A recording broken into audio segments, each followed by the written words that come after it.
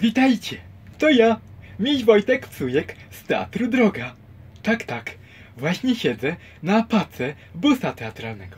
Tego busa, co ostatnio został potraktowany ostrym szpikulcem.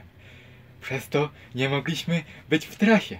Ale, ale uwaga, zobaczcie, ja siedzę właśnie, jestem na dwóch oponkach. Tak, tak, oponki, dwie oponki, bo zawsze trzeba dwie wymieniać, jak jedna pęknie albo coś się stanie.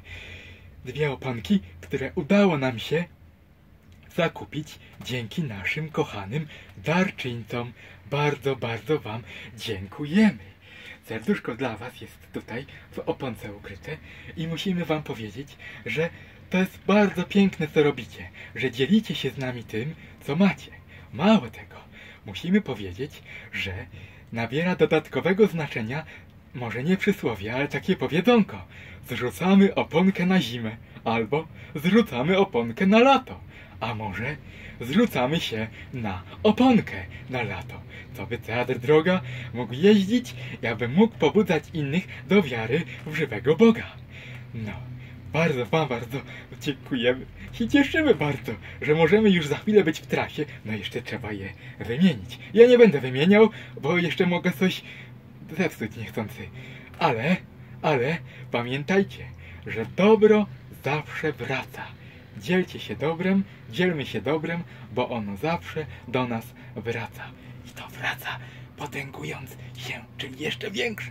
No. A, i właściwie to my jesteśmy otwarci cały czas, to znaczy otwarte serca mamy, abyśmy mogli dzielić się, abyście mogli też zrzucać się nie tylko na oponki, ale zachęcamy, żeby dzielić się, oj coś przejechał jakiś traktor, aby za, dzielić się z nami tym co macie, to byśmy mogli właśnie kupić troszkę większego busa, nie wcale nowszego, ale większego, bo do tego się już nie mieścimy. Znaczy, ja się jeszcze mieszczę, jeszcze mam swoje siedzonko, ale za chwilę już się nie będę mieścił, bo zaczynamy nowy sezon.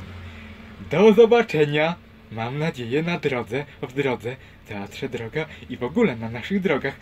Pa, pa!